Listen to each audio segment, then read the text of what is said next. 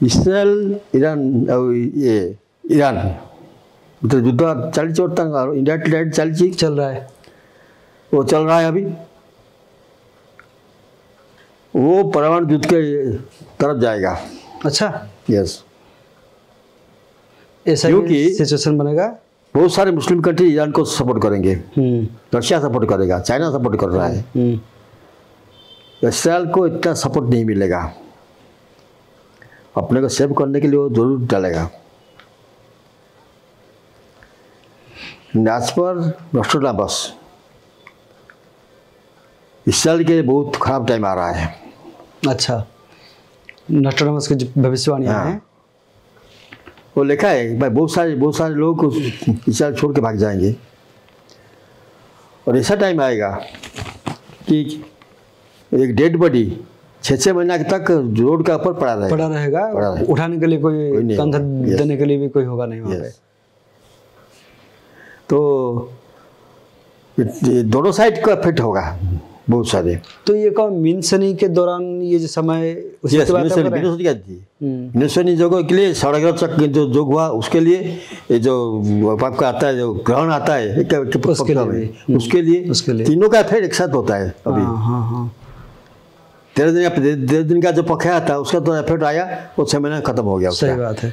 अभी ये जो तीनों है साढ़े जोग और विंसन जोग के साथ एक पक्ष में ग्रहण होता है दो दो ग्रहण उसका इफ़ेक्ट में ऐसा होगा। अच्छा। ताइवान के ऊपर चाइना अटैक कर सकता है हम्म, पच्चीस में। हम्म, हम्म, जापान के ऊपर रशिया भी अटैक कर सकता है ये चांस ऑफ़ इट अमेरिका का कोई स्टेप जो लेगा कुछ स्टेप लेगा अमेरिका उसके लिए उत्तर कोरिया उत्तेजित होकर दक्षिण कोरिया का बाटा कर सकता है। अमेरिका का कोई एक ऐसा स्टेप लगा कोई एक ऐसा कदम लगा और उत्तर कोरिया जो है वो दक्षिण कोरिया पर अटैक कर सकता है, हाँ। फिर आप देखिए जी। 2025 का अप्रैल तक अप्रैल में अप्रैल या मई में मंगल कर्कट राशि में प्रवेश करेगा। हम्म, मंगल जो कर्कट राशि में आता है युद्ध का भयानकता बढ़ता है। अच्छा युद्ध का जो है वो थोड़ा बढ़ जाता है। हाँ। पॉसिबिलिटी बढ़ जाता है। बढ़ जाता है बहुत बढ़ जाता है। बहुत सारे कंट्रीज़ ज्वाइन कर लेंगे वार में सब। अच्छा। जो कभी बार में अभी तक मतलब डायरेक्टली या इनडायरेक्टली इन्वॉल्व नहीं हुए हैं हाँ। वो भी डायरेक्टली या इनडायरेक्टली इन्वॉल्व हो जाएँगे। यस ये जो कर्कट राशि वाला चीज़ है ने दिया है अक्षित भी दिए हैं। जब मंगल ग्रह कर्कट राशि में प्रवेश करेंगे तो बहुत सारे कंट्री इकट्ठा होकर युद्ध करेंगे। तो यहाँ पे संत अच्युतानंद दास जी और नॉस्ट्राडामस इनके Yes. भविष्यवाणी जो है दोनों का है। जी। इस साल भैरवी डाक होगा एक पहला भैरवी डाक इस साल? पच्चीस मई को होगा हाँ। छब्बीस मई को होगा सत्ताईस मई को सत्ताईस होगा। में एक- एक होगा। जो हुआ था वो पार्शियल हुआ था। उसमें देखा स्टेट पर लिखा हुआ था कि भुवनेश्वर से लेके जाजपुर तक सुनाई देगा। हाँ। वो डाक भैरव डाक वो बीजा का नहीं था। हाँ। भुवनेश्वर का था भुवनेश्वर का था। हाँ। उसको एक आश्चर्य चीज़ है ये सब ये जो चीज़ बोलते हैं लोग ना जो एस्ट्रोलॉजर बैठे हैं उधर नॉर्थ इंडिया में जो बोलते हैं मलिका मलिका होते हैं उसके पास खबर जाता है। सडनली चला जाता है साथ साथ उसमें एक बोले, आदमी बोला कहाँ तो हमको कोई सुनाई नहीं दिया? मैंने क्या लिखा है, जब हरीडा का होगा? अरे भाई, तुम समझो पहले, कहाँ, क्या सुनाई देता है? हाँ कुछ मतलब आधा आधा बात को समझ के अगर अपने बात रखने की कोशिश करेंगे तो क्या होगा? तो इसका मतलब है कि भविष्य मालिका में लिखा गया है कि भैरवी का डाक। मतलब यानी मातृशक्ति जो है, वो डाक देंगे। मात्रा माता बिरजा माता बिरजा जो है, तीन बार जो है, वो डाक देंगे। इसको हम कहते हैं भैरवी का डाक। तीन बार। पहले तो ऐसा होगा कि माता जी जब पहला डाक देंगे, वो सारे की सारी मातृशक्ति जो है, वो एकत्रित होंगे। और दूसरा जो भैरवी का डाक होगा, माता माता बिरजा जब दूसरा डाक देंगे तो वो अपना स्थान छोड़ देंगे। तीसरा डाक यानी माता जी जो है, रक्तमुखा हो जाएँगे।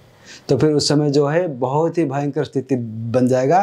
तीसरे वाले की हम बात करें। तो ये पहले का जो सिलसिला है वो शुरू हो जाएगा 2025 में। यानी मालिका में बहुत सारे मालिका ग्रंथ और जो पोथी जो प्रमाण देता है भैरवी के डाक के बारे में उसका पहला जो चरण जो है शुरू हो जाएगा 2025 में। यस जी जो आप बोल वही सही है। हाँ। पच्चीस में जाजपुर में सब देवी इकट्ठा होंगे जाजपुर में। अच्छा। उन लोग का मीटिंग होगा एक कुछ। प्लानिंग होगा। प्रभु भक्तों को लोग को हमको दिए रखा करने के लिए कैसे क्या करना क्या करना किसको क्या दर्द करना वो सब प्लानिंग होगा उन लोग का। छब्बीस में जो छब्बीस में बजे बजे डाक देंगे आपका बिरोजा उस टाइम उसका पश्चिम साइड में मंदिर का जो द्वार है वो खुल जाएगा। वो खुल जाएगा। पश्चिम द्वार जो है बंद पड़ा हुआ है हाँ, वो खुल, जाएगा। उसी दिन बिरोजा आस्थान छोड़ेंगे। अच्छा। ये आस्थान छोड़ने का मतलब यही है। उसी दिन से ये नहीं कि कोई उठा के उसको साहब रखा दिया रख दिया आस्थान छोड़ दिया। नहीं नहीं नहीं वो तो नहीं है। और कल की मतलब- देव देव प्रकट हो गए। उसका सही मतलब जो है समझना बहुत ज़रूरी है। हाँ। सही बात है। फिर? इसमें देखिए ये भैरव डाके पृथ्वी दुलू की भूमिकंप होगा उसके बाद भैरव डाके भूकंप होगा। यस और पापी लोगों के ऊपर विपत्ता आएगा। अच्छा। चालू हो जाएगा ये के बाद। जो सुनेगा वो पापी लोग सुनेंगे भक्त लोग नहीं सुनेंगे उसको। जो सुनेगा वो मरेगा। उसको कैसे मालूम पड़ेगा? आ रहा है बोल के। भाई डाक का टाइम हो गया कैसे मालूम पड़ेगा? वो बोले हैं कि अधीन में मतलब- ग्रीष्म रूप में कोहरा होगा दिन में। अच्छा अच्छा अच्छा। मतलब जो प्रकृति के विपरीत होगा। व्यर्थ होगा। हाँ। दिन में सुगाल शब्द करेगा आवाज़ करेंगे। आवाज़ देगा। हाँ। ये दोनों होने से मालूम करो कि भरवी डाक आने का है अभी टाइम हो गया। और ये डाक विभिन्न तरीका से विभिन्न जगह से सुनाई देगा हम्म, ये उड़ीसा का बाहर भी सुनाई देगा ये उड़ीसा के लिए एक नहीं है। जहाँ जो देवी है वो डाक देंगे। कलकत्ता में कलकत्ता कलिकाली डाक देंगे। आसाम में बैठे हैं तो माँ देवी बैठे हैं वो डाक देंगे। जहाँ जो है मंदिर है माता का सब वही डाक देंगे सब जगह में होगा। लोग को सुनाई देगा भी वो। नहीं है कि उड़ीसा में पापी मरेंगे दूसरी जगह पापी बैठेंगे ऐसा नहीं है। सही बात है। तो इसी के ऊपर बेस करके और एक बाणी है बालिका में जिसका मतलब ये है 2025 से शनि से ये मिनोसन योग के बाद शनि का दृष्टि जो भंड बाबा सब बोल- सब बोल- सन्यासी भंड होके बोलते हैं हम कड़की है हम ये है वो है नकली नकली हाँ उन लोग का पर शनि का दृष्टि पड़ेगा मतलब उसका खत्म होने का टाइम आ जाएगा जो असली रूप जो है Yes. सामने आ जाएगा Yes. लोगों के सामने आ जाएगा एवं मिनिशन योग का लास्ट होगा अब अट्ठाईस बिगिनिंग में मार्च मार्च तक हो जाएगा बाई दैट टाइम ये सब खत्म हो जाएँगे कोई नहीं रहेगा कोई नहीं बचेगा जितना सब करके है उसको कोई करके अवतार नहीं खाएँगे देवी खाएँगे उसको जो अपने आप को जो है नकली कल हाँ। बना के अपने आप को जो नकली कल की हाँ। के वो घूम रहे हैं वो फिर सामने आ जाएँगे सही बात है अंतरिक्ष से मैंने आकाश से समुद्र से और पृथ्वी से बहुबार शब्द होगा विभिन्न शब्द होगा हाँ, हम्म, हम्म। विभिन्न जगह में। अलग अलग टाइप का आवाज़ जो है हाँ होगा। और ये शब्द सुन के बहुत लोग भयभीत हो जाएँगे। हम्म। ये शब्द आने का मतलब क्या है? जैसे साउंड जैसे आप अभी उड़ीसा में होता है अभी इन दो तीन बार हुआ है कोई साउंड होता है कि that is from the earth earth एक बार आया था समुद्र के अंदर से। हम्म, हम्म। बाकी सब अर्थ के अंदर से आया है। जी। तो ऐसे साउंड भारत का भारत का हर जगह में होगा। अच्छा। इवन भारत के बाहर भी होगा बहुत जगह में। ये जो जाटा के बाद आपका जो छब्बीस में बीजा देवी आस्थान छोड़ देंगे सत्ताईस में रक्त मुखा हो जाएँगे। ओ जो आएगा जितना पापी सब खत्म करके च- चालू हो जाएगा। भारत का कुंडली में मंगल नीचे चढ़ में होने से पड़ोसी के साथ युद्ध का चांस बहुत है अच्छा बढ़ेगा। बढ़ जाएँगे। हम्म, विभिन्न देश में भूमिकंप होगा।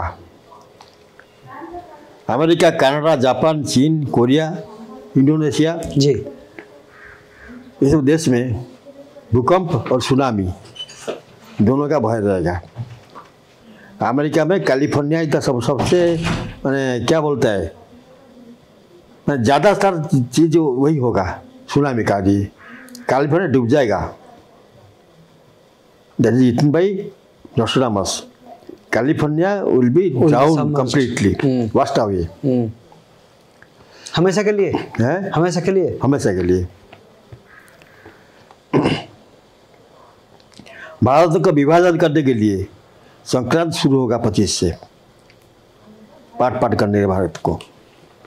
अच्छा उसका जो प्लानिंग है वो पच्चीस से ही शुरू हो जाएगा। शुरुआत हो जाएगा। बांग्लादेश में बांग्लादेश को पुनर्बार पाकिस्तान साथ जोड़ने के लिए मिलाने के लिए? आंदोलन होगा। बांग्लादेश के अंदर? यस अच्छा। आंदोलन होगा। भारत का इसमें कोई हस्तक्षेप रहेगा क्या? भारत तो उसमें तो, तो क्या करेगा उसमें? वो लोग खुद चाहते हैं तो बात क्या कर सकता है? लेकिन हिंदुओं का पर बहुत अत्याचार होगा। वही मैं हिंदुओं की बात कर रहा हूँ। उस टाइम शायद इंडिया विल इंटरफियर इंडिया का इंटरफेयर उस समय रहेगा। मतलब हिंदुओं को बचाने के लिए। हाँ बचाने के लिए कुछ निर्भर कर सकता है। अभी भी देखिए खबर आ रहा है कि जितने सारे जो बॉर्डर है उस पर लाखों की संख्या में हज़ारों की संख्या में हिंदू जो हैं खड़े हैं। शायद उन लोग को अंदर आने के लिए चांस दे सकता है। चाहे चाहे कुछ मिलिट्री एक्शन ले सकता है। कुछ भी समथिंग कुछ होगा। कोई बड़ा काम हाँ, कुछ बड़ा चीज़ होगा वो चीज़ करेंगे भी अच्छा।